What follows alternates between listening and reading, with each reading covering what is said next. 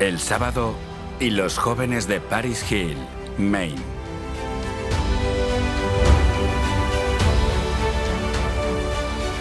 Paris Hill, Maine. Hoy una pequeña y tranquila localidad con calles frondosas y hermosas casas. A pesar de su tranquila ubicación rural, fue el hogar de algunos gigantes de la fe. Aquí vivían tres familias adventistas, la familia Stevens, la familia Stowell y la familia Andrews.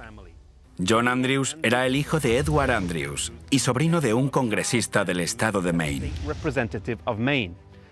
Cyprian Stevens tenía dos hijas. Una de ellas se casó con Urias Smith y la otra con John Andrews. La casa de Edward Andrews detrás de mí aún está en pie. Hoy es un club de campo. La granja de Cyprian Stevens se encuentra ubicada al final de la calle.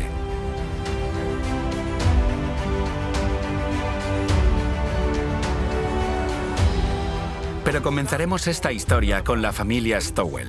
En la primavera de 1845, el folleto de Thomas Preble acerca del sábado llegó a la casa de Louis Stowell.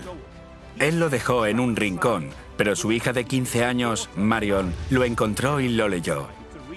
Ella se convenció de la verdad acerca del sábado y decidió guardarlo. Compartió el folleto con su hermano Oswald y él también decidió guardar el sábado. Entonces llamaron a John Andrews. Tan solo tenía 15 años, pero ya era respetado por su inteligencia. Él leyó el folleto y también decidió guardar el sábado.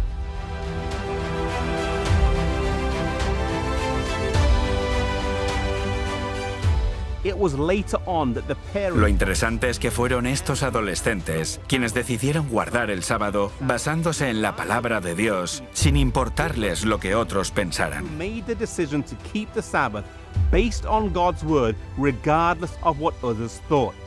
Esta es la esencia real del protestantismo y uno de los puntos claves de la Reforma.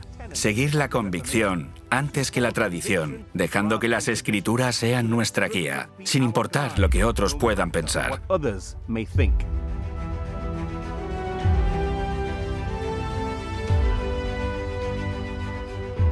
Luis Stowell envió una carta y 10 dólares al ministro baptista del séptimo día, Thomas Preble, en Hopkinton, Rhode Island, solicitándole más folletos.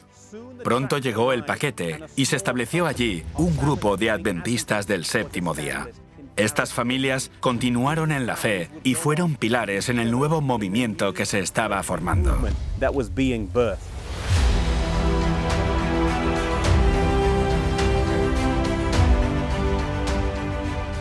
Paris Hill es también el lugar de nacimiento de la Review and Herald, que hoy se publica con el nombre de Revista Adventista.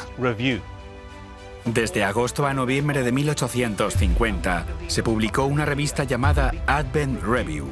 Desde noviembre de 1850 a junio de 1851, la edición de la revista Review and Herald se hacía en un edificio cerca de aquí.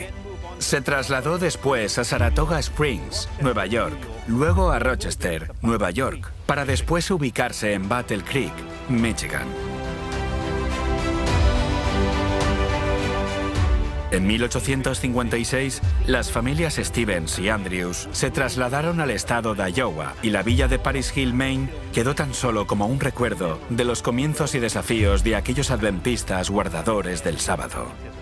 Aunque el núcleo de la acción ya no está aquí, su ejemplo de fidelidad y convicción pervive hasta el día de hoy como un modelo de cómo deben ser nuestras vidas. No importa si otras personas se deciden o no, o qué autoridad está tratando de instruirnos o guiarnos. Debemos ser leales a las convicciones de nuestra conciencia. Esto es lo primero y lo más importante. El apóstol Pedro dice que es necesario obedecer a Dios antes que a los hombres.